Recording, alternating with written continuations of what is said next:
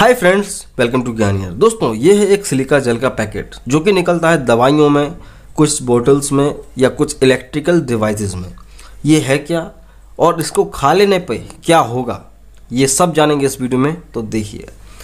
दोस्तों, कई लोगों की डिमांड थी, भाई, इसको खाने पर क्या हो सकता है, या क्या रिस्क होता है, क्या आदमी की मौत हो सकती है? इस पर लिखा रहता है कि डू नॉट ईट तो इसका मतलब क्या है? तो पहले इसको समझो, ये है क्या? ये आपको हर इलेक्ट्रिकल डिवाइस में छोटे मोटे जो भी उपकरण आते हैं, उनमें ये पाउच मिल जाता है, डला हुआ। इसके अंदर कुछ छोटी छोटी बॉल होती हैं, अगर इसको आप फाड़ के देखेंगे तो बिल्कुल ट्रांसपेरेंट गोलियाँ होती हैं छोटी छोटी तो ये है क्या? कुछ बोटल्स होती हैं, उनके अंदर भी डाला जाता है। देखो, ये होता है क्या? सिलिका जेल सिलिका जेल या बोलो सिलिका डाइऑक्साइड इसका फॉर्मूला होता है एस आई ओ टू बहुत सिंपल है। ये क्या है? जस्ट नॉर्मल रेत होता है ना समंदर में से रेत निकलता है। उसी से इसको एक्सट्रैक्ट किया जाता है, उसी से इसको बनाया जाता है। तो ये चीज़ तो क्लियर है, ये जहरीला नहीं है।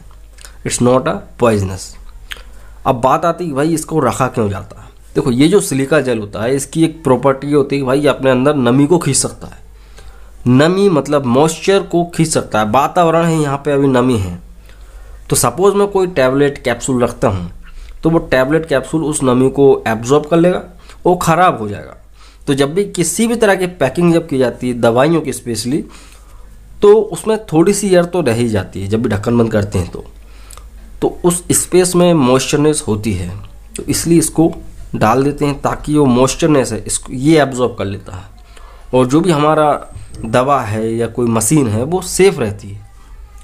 तो यहाँ पर टिप ये भी है कि भाई, अगर आपके पास घर में एल्बम वगैरह है और आप इसको फेंक देते हो तो जो फ़ोटो एल्बम्स होते हैं उसमें आप इसको डाल दीजिए, आपके फ़ोटोज़ कभी ख़राब नहीं होंगे।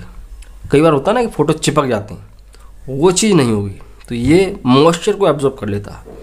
अपने वेट का लगभग लगभग तीस से चालीस परसेंट पानी होल्ड कर सकता है ये, अपने वेट का। वो तो बड़े काम की चीज़ है। अब आती बात कि इसको खाने पे क्या होगा? देखो, जैसा कि मैंने आपको बताया, ये पॉइजनस नहीं है। ये दो तरह का आता है बेसिकली एक वाइट होता है और एक ब्लू कलर का होता है। ब्लू कलर का थोड़ा सा टॉक्सिक तो होता है।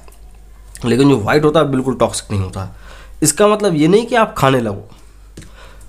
तो हमेशा बच्चों की पहुँच से तो दूर रखना ही है, क्योंकि क्या होता है, आप सपोज़ इसको खा लेते हैं सिलिका जेल्स की बॉल्स को कोई फोड़ के खा लिया तो क्या होगा?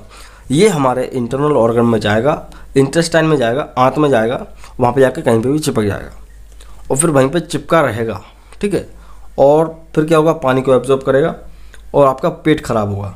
डायरिया हो सकता है कॉन्स्टिपेशन हो सकता है बहुत सारी समस्याएँ दे सकता है। कई लोगों को बुखार आ जाता है, उल्टी नोजिया वॉमिटिंग तक हो सकती है।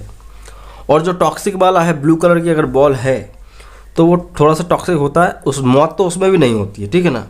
मृत्यु तो उसमें भी नहीं होती है। उससे ये होगा कि आपको लेबर वगैरह ख़राब कर देगा वो, ठीक है ना? लेबर वगैरह डैमेज कर देगा तो थोड़ा सा टॉक्सिसिटी दे सकता है। तो इसको खाना नहीं है, ये कोई खाने की चीज़ नहीं है बट धोखे से अगर कोई खा भी लेता है तो उसको लवाज वगैरह करके उसको निकाल लिया जाएगा बाहर, ठीक है? तो ये चीज़ है। इसके बारे में आप समझ गए होंगे सिलिका जेल क्या होता है। वीडियो अच्छा लगा लाइक करें और अपने दोस्तों के साथ शेयर कर सकते हैं, ठीक है? चैनल पे अगर आप नए हैं तो चैनल को सब्सक्राइब करो और बेल आइकन को ज़रूर दबाएँ। आप देख रहे थे ज्ञानियर द मेडिकल चैनल मैं हूँ शिवम तो मैं मिलता हूँ अगले वीडियो में। जय हिंद बंदे मातरम।